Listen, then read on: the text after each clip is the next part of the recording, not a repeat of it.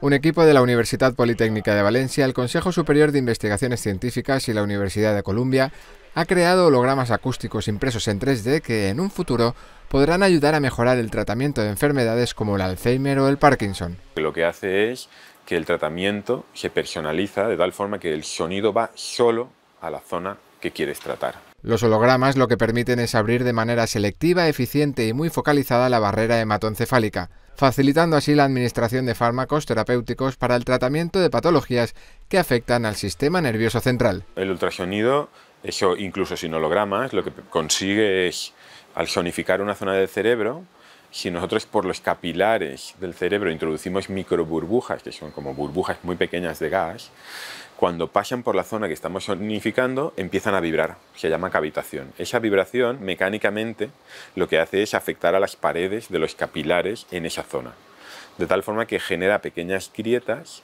por donde podemos introducir los fármacos solo en la zona donde estamos ionificando. El holograma se imprime en 3D personalizado para cada caso. A partir de un TAC y una resonancia magnética, el personal médico establecería dónde hay que actuar y con esa información se diseñaría el holograma a la carta para conseguir la sonificación de la región de interés. Con un holograma tú puedes hacer que lo que estés sonificando se adapte muy bien a la estructura cerebral que quieres tratar. Por ejemplo, el hipocampo es una, una estructura muy, muy peculiar, es alargada, incluso un poco retorcida.